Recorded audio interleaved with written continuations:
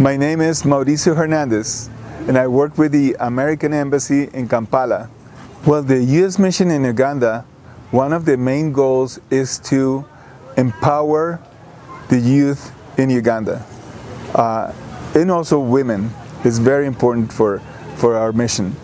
And so as part of that, we have a project called the American Spaces and we bring uh, all kinds of resources to different people at no cost so that it's available to everybody.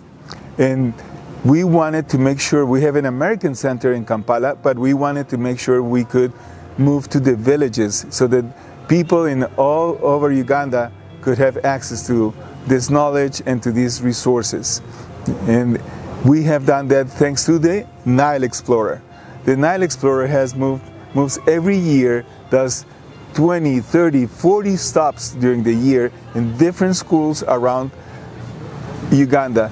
All of these are underserved schools where most of the students would not have access to computers, to uh, a lot of this knowledge that is given by our facilitators.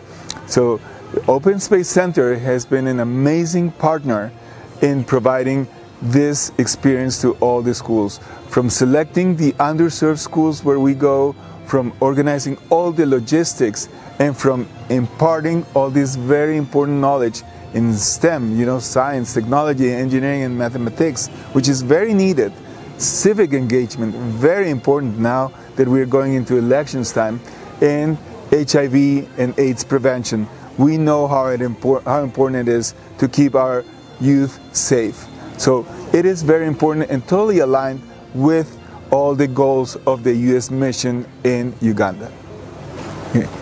Well, I got the opportunity of visiting the Nile High School in Arua.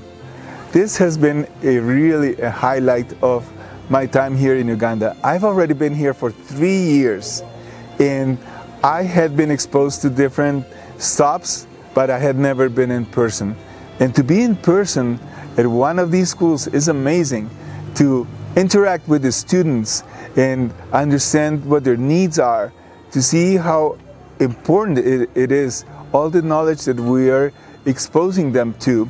Uh, for example, just having used laptops or having access to internet. Today I was talking about artificial intelligence and it seemed like they had not heard about that. So we are really exposing them to opening their minds to new opportunities, to things that are changing in the world. And so looking at them, lo looking at how interested they are, uh, it, it, it is fascinating. It, it, really makes my heart warm. It makes me happy to see that, uh, that it's having an impact for sure. This has been an amazing experience. I, as I mentioned, I've been here for over almost three years in Uganda, and I had never been to Arua.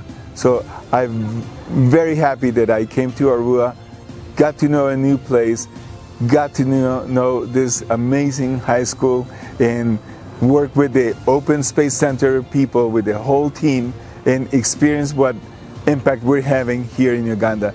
Uh, it, it is amazing. We really want to continue with this project.